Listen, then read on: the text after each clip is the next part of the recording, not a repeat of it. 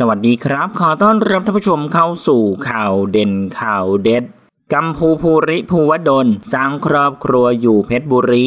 เป็นผู้ประกาศข่าวชื่อดังที่หลายๆ คนรู้จักสำหรับกัมพูภูริภูวดล และรัชนีสุทธิธรรม ที่ช่วงหลังทั้งคู่ใช้เวลาว่างจากการทำงานไปทำโคกหนองนาที่บ้านสวนในจังหวัดเพชรบุรี และถ่ายทอดขั้นตอนการทำต่างๆ ลงใน YouTube กัมพูรัชนีชาแนลซึ่งคุณกัมพูได้ซื้อที่ดิน 5 ไร่ในพื้นที่อำเภอบ้านลาดจังหวัดเพชรบุรีนำมาปรับพื้นที่ขุดคลองสร้างบ้านปลูกพืชผักและทำนา โดยคลิปครบรอบหนึ่งปีในการทำโคกหนองนาของบ้านสวนกัมพูเมื่อวันที่ 2 สิงหาคม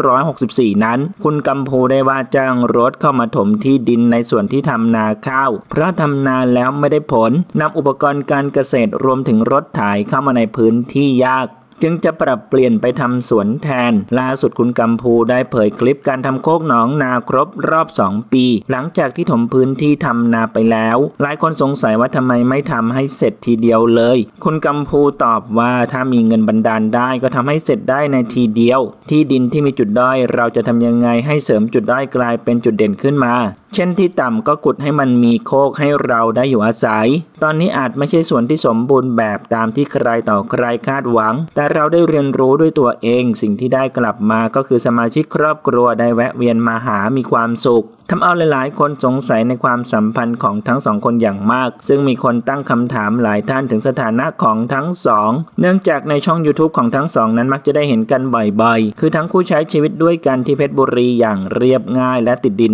มากๆ ล่าสุดมีคอมเมนต์ท่านหนึ่งกล่าวคุณกัมพูนั้นส่วนตัวมีลูกและภรรยาอยู่แล้วทำหลายคนถึงกับเซอร์ไพรส์เพราะน้อยคนนักจะทราบเรื่องนี้ จากนั้นก็มีคอมเมนต์เสริมต่อเคยได้ยินมาว่าเป็นเพื่อนที่สนิทกันมากทำงานด้วยกันมานานไปมาหาสู่เหมือนเป็นญาติพี่น้องกันเลยก็ว่าได้สำหรับกัมพูภูริภวดลหรือโจ เป็นชาวอำเภอประทายจังหวัดนครราชสีมา เขาบทเรียนศึกษาธรรมบาลีที่สำนักเรียนวัดเกาะตำบลบางพลับอำเภอโพทองจังหวัดอ่างทอง จนได้ประเรียนทำห้าประโยค ส่วนรัชนีสุดที่ทำเป็นชาวจังหวัดร้อยเอ็ดจบการศึกษาปริญญาตรีคณะบริหารธุรกิจมหาวิทยาลัยรามคำแหง เริ่มทำงานเป็นผู้สื่อข่าวที่หนังสือพิมพ์ผู้จัดการรายวัน กระทั่งปี